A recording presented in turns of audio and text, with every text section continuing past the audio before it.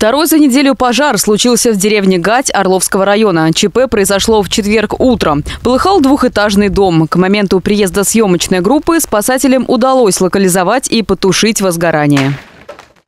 В результате пожара на втором этаже выгорела комната на площади 6 квадратных метров.